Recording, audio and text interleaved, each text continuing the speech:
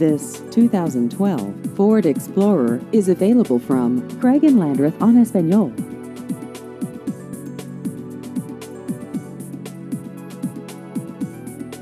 This vehicle has just over 42,000 miles.